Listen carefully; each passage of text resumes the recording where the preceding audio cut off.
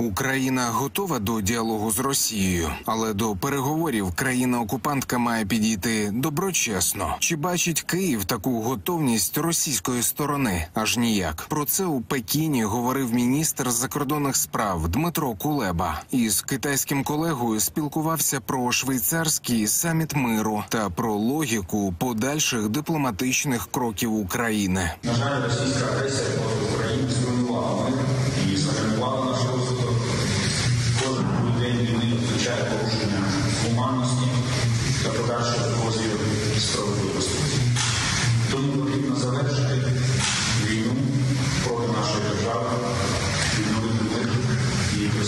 відновлення України.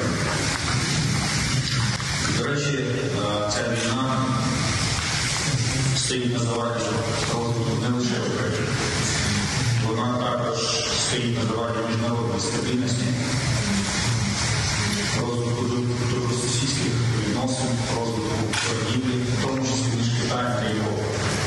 Новини з Китаю почули і у Москві. Путінський речник Пісков несподівано вирішив, що заяви Києва про переговори лунають в унісон із позицією Кремля, але все буцімто вирішать важливі деталі. Натомість у Китаї вважають, що час для переговорів ще не настав, але вкотре закликали не до військового, а до політичного рішення. Китай вважає, що вирішення всіх конфліктів має повернутися за стіл переговорів, а всі суперечки мають вирішуватися політичними шляхами.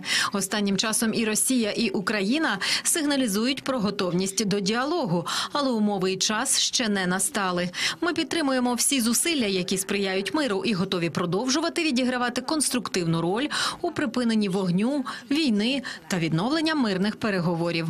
Ворог хоче, щоб Україна відмовилася від кордонів 91-го. Ба більше Путін вимагає виведення ЗСУ зі всієї території Донеччини, Луганщини, Запоріжжя та Херсонської області. Але сили оборони України готові чинити спротив. Головком Олександр Сирський дав інтерв'ю британським журналістам із The Guardian. Наголосив, що ЗСУ роблять усе, щоб звільнити всю територію України. Мають напрацьований і, звісно, таємний план звільнення Криму. Сирський впевнений, що повернути синьо-жовтий стяг на півострів цілком можливо. Здавалося неможливим ще рік чи два тому, але зараз це вже реальність. Ракети Хаймарс уже звично б'ють росіян просто на їхній землі, як відпрацьовує по окупантах на Білгородщині. Артилерійський дивізіон Тівас показують бійці ракетники.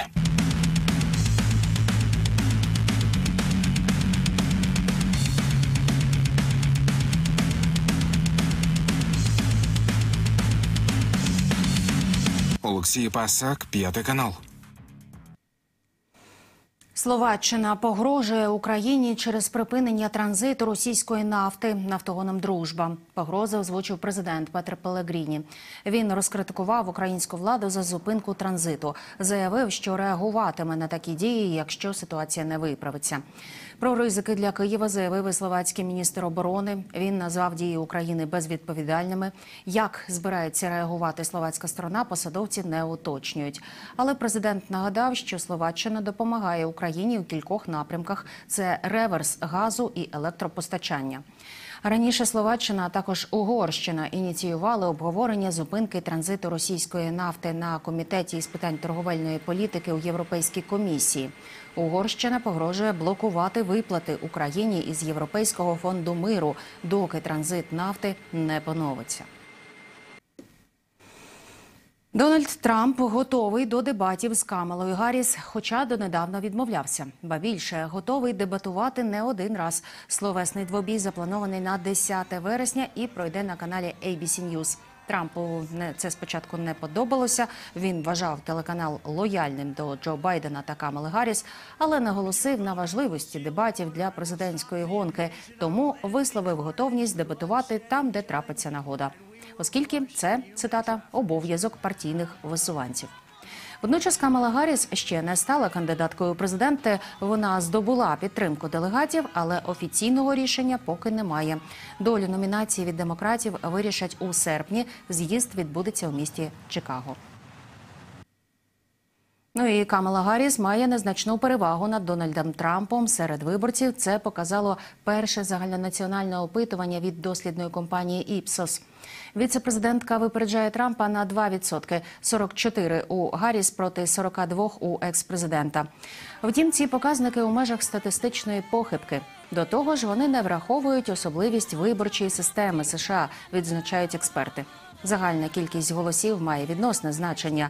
Важливіші цифри у конкретних штатах, зокрема у тих, що коливаються. Але фахівці звернули увагу на позитивну динаміку підтримки Камали Гарріс. Попередньо опитування проводили у середині липня. Тоді між Трампом та Гарріс був паритет 44%. На початку місяця незначну перевагу утримував Дональд Трамп, але лише в 1%. У свіжій соціології виборці відзначають позитивні якості віце-президентки. 56% опитаних позитивно висловилися про її вік порівняно із Трампом. Камалі Гарріс 59%. Американці вважають, що вона має гострий розум та здатна давати раду викликам. Про Трампа те саме сказали менше половини опитаних. Про Джозефа Байдена лише 22%. Камала Гарріс вже провела перший мітинг після вступу до гонки за президентську номінацію. Встигла дорікнути Дональду Трампу за кримінальне минуле. До того як мене обрали віце-президенткою та сенаторкою Сполучених Штатів, я була генеральною прокуроркою штату Каліфорнія. А задовго до цього прокуроркою в суді. У цій ролі мала справу зі злочинцями усіх сортів: чоловіків, які знущалися над жінками, шахраїв, які обкрадали споживачів та порушували правила заради власної вигоди. Тож слухайте мене, коли я скажу. Я знаю, що за тип цей Дональд Трамп. Виважений текст, гарна подача, правильні акценти. Як колись аналітики та змі обговорювали статті залізного генерала, так нині прикуті до першого дипломатичного виступу Валерія Залужного. Генерал, який став послом, про що говорив, до кого звертався і чи все вдалося, Марта Шикула аналізувала. Він змінив піксель на класичний костюм з краваткою, берце на парадні мешти. Коло спілкування з військових на дипломатів та політиків. Світлини такого незвичного екс-головкома, а нині посла залужного частіше можна побачити у світових та українських медіа. Виконання обов'язків надзвичайного і поважного посла України у Сполученому Королівстві Великої Британії та Північної Ірландії Валерій Залужний розпочав 11 липня. Невдовзі він урочисто зустрічав президента України у Лондоні. Вперше після призначення послом у Британії екс-головком виступив у британському оборонному інституті. Найбільше говорив про війну в Україні. Насамперед, воєн необхідно уникати, але якщо війна все-таки прийде, необхідно бути до неї готовим. Не лише у військових аспектах, а й усіх галузях діяльності держави, зазначив посол Залужний. Найскладніше, але найважливіше підготувати суспільство між владою та народом має бути чесна та прозора комунікація. Він казав як військовий. І як військовий топ військовий, тобто це колишній головнокомандуючий збройними силами України. Він має досвід ведення війни. Він може його узагальнити. Його узагальнення е, торкається того, що на сьогоднішній день е, війна має бути тотальною, якщо вона, звісно, розпочалася. Її варто уникати, але якщо вона розпочалася, то війна має бути тотальною, і суспільство повинно е, бути повністю залучено до ведення цієї війни, відмовившись від- від певних прав та свобод. Аналітики кажуть, це було не заради виступу, а вдало підготовлений текст із правильним посилом, спрямованим на західну аудиторію. переважно акцентував увагу на військовій технологічній складовій, на філософії нинішньої російсько-української війни, на психологічній готовності суспільства і зачепив питання демократії. В цьому виступі знаєте, е, можна отримати багато цікавих відповідей на ті питання, які можливо ну не завжди актуально бажають задати собі багато українських громадян. Це дуже важливо, тому що такі речі треба робити. Треба постійно нагадувати, в якому стані знаходиться Україна, що в нас відбувається, яку війну проти нас веде Російська Федерація. А з іншого боку, це був і певний заклик до інших демократій, до інших демократичних суспільств, щоб вони чітко розуміли, що зараз відбувається, і на превеликий жаль, російсько-українська війна може стати лише першою війною в е, черзі, дуже знаєте, дуже довгій черзі якихось нових війн, які будуть власне провокувати різноманітні диктаторські режими. Не обійшлося без посилів між рядками. Аналітики кажуть, виступ був дипломатичним. Водночас залужний озвучив різні сценарії і варіанти розвитку російсько-української війни. Е, Будь-яке перемир'я чи замороження війни з Росією на умовах Росії буде просто означати продовження подальшої війни, причому війни, яку Росія веде на знищення українського народу.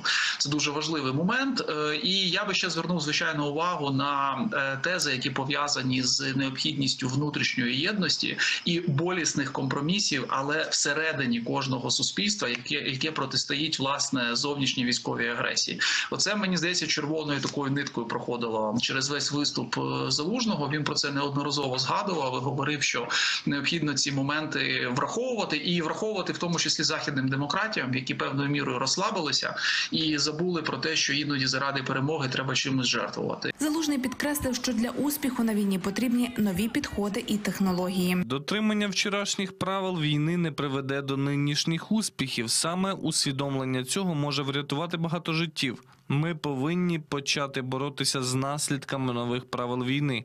Я взяв цю цитату в американського генерала у відставці Стенлі Маккристала. Потім у нього були такі слова: якщо ні, то ми всі залишимося позаду.